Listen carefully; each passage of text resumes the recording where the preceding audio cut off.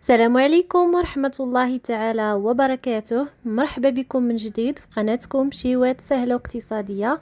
كنتمنى دائما يلقاكم الفيديو ديالي في أتم الصحة والعافية. يا رب. اليوم إن شاء الله غنقترح عليكم واحد الاقتراح اللي سهل جدا وبمكونات بسيطة. ممكن توجدوه الفطور الصباح أو الكوتي ديال العشية.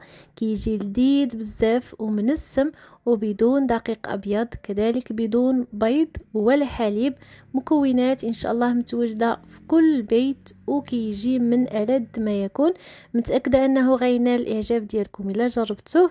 وغنبداو على بركة الله. بسم الله. عندنا واحد القصعة أولا الإناء فاش غنخدمو؟ غنوضع فيها آه، خمسمية غرام ديال دقيق الفينو أو ما يسمى بالسميد الرطب. دائما كنغربلوه هكذا باش كنتفاداو أن يكون فيه شي حاجة ضروري ما نغربلوه. من بعد كنشكل هكذا حفرة في الوسط. من بعد غنوضع فيها ملعقة كبيرة مملوءة جيدا من خميرة العجين وغنضيف كذلك نصف كاس من السكر. إلا ما بغيتوش يجيوكم حلوين ممكن تنقصوا الكمية ديال السكر. كذلك غنضيف قشرة برتقالة. كما شفتوا معايا برتقالة وحدة غسلتها مزيان وحكيت القشرة ديالها. الآن غنضيف هاد الساشية هادي ديال السكر منسم بزهرة البرتقال. إلا ما متوفراش عندكم ممكن تعوضوها بجوج ملاعق من ماء الزهر. وعندي نصف كاس من الماء اللي كيكون دافي. كنحاولوا نفرغوا فوق ديك الخميرة. غنحركها واحد شوية ونخليها غير كتذوب هكا وكتفاعل. غير واحد جوج دقائق فقط. من بعد غنضيف علبة من الياغورت بالنكهة ديال الفانيلا ممكن تضيفوا أي نكهة كتفضلوا. وبالنسبة لوزن العلبة هو 110 غرام. حاولوا ما يكونش بارد باش ما يخسرش لكم المفعول ديال الخميرة يعني يكون بدرجه حرارة الغرفة. وعندي كاس ديال الماء دافي كنبدأ هكا نضيفه تدريجيا. وأنا كنجمع في الخليط ديالي كما شفتوا معايا. كاس من الماء دافي. كميه راها مضبوطة جدا. كاس ونصف اللي استعملت في 500 غرام ديال الدقيق. مهم غتشوفوا معايا القوام ديال الخليط. دائما دقيق الفينو كيشرب السوائل بزاف. داكشي علاش؟ في الأول دائما كنخليو العجينة مرخوفة بزاف. هنايا ضفت ملعقة صغيرة من الملح كنت نسيتها ما ضفتهاش من الأول. ضفت عليها القليل فقط من الماء باش كتذوب ومن بعد كنحاول نمعس العجين ديالي مزيان كما شفتوا راها مرخوفة بزاف. غنحاول نجمعها هكذا واحد شوية وغنغطيها بمنديل وغنخليها حتى كتشرب.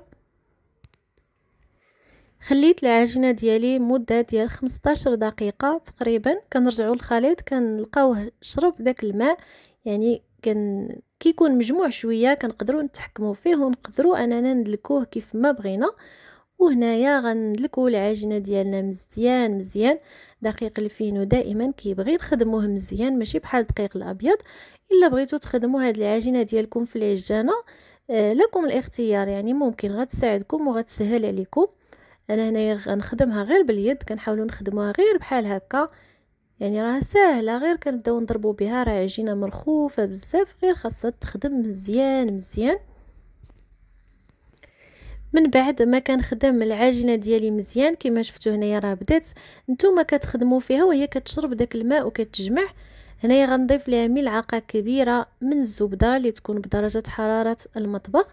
ملعقة تكون مملوءة جيدا ولا ما يعادل 40 غرام. أي نوع من الزبدة ممكن تضيفوها. غنحاول ندخلها معها مزيان مزيان. غير بهذه الطريقة هذه كنبدأ غير نخدمها بهذا الشكل هذا. حتى كتنسجم مع هذيك الزبدة وكتدخل معاها مزيان. وما تضيفوش ليها الزبدة حتى كتخدموها في الأول مزيان حتى كتولي العجينه شادة في راسها لأن الا إلا ضفتو الزبدة آه، في الأول العجينه كتكون باقا مرخوفة يعني غترخف لكم أكثر من القياس. ضروري تخدموا مزيان العجينه حتى كتحسوا بها راه بدات كتشد راسها. عاد كتضيفوا الزبدة وكتعاودوا تخدموا يعني سر النجاح ديال هذه الوصفة أنكم تخدموا العجينه جيدا. كما كتشوفوا من بعد ما خدمت العجين ديالي مزيان كما كتلاحظوا حتى الملمس ديالها راه كيتغير. يعني كتولي مجموعة شادة في راسها وفي نفس الوقت راه العجينة مرخوفة ما كنقصحوهاش. واللي بغات تخدمها بالعجانة راه غتسهل عليكم. غنوضعها في واحد الإناء اللي كنكون دهنته بالقليل من الزيت من التحت وغندهنها حتى من الفوق ديالها. وغنغطي عليها مزيان ببلاستيك غذائي وشي منديل هكذا من الفوق. كنوضعها في مكان اللي كيكون دافي وكنخليها تخمر مزيان حتى كيتضاعف الحجم ديالها. وهنايا العجينة ديالي من بعد ما اختمرات وطلعات كما شفتوا ضاعف الحجم ديالها. ضروري ما تعطيوها الوقت ديالها الكافي وتخمر مزيان باش تنجح معكم الوصفة لأن إلا ما خمراتش راه ما غاديش تصدق لكم. كما شفتوا كنحاول نديغازيها ولا نخرج منها داك الهواء كتكون العجينة كلها فقاعات. كندهن سطح العمل بالقليل من الزيت فقط غير واحد شوية الزيت وكنوضع العجينة ديالي فوق سطح العمل وغنحاول نقسمها الاقسام أو القطع اللي هما صغار أو لا على حسب الحجم اللي بغيتو نتوما. أنا راه درتهم حجم متوسط نتوما إلا بغيتو تصغروا غتحصلوا على كمية كبيرة.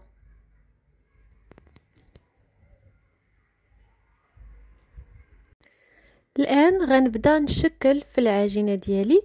دائما كنستعن بالقليل من الزيت فقط كندهن به سطح العمل وكناخذ الكويرة ديالي كنحاول نسرحها هكذا واحد شوية غير باليد ومن بعد كنلويها على شكل باكيت.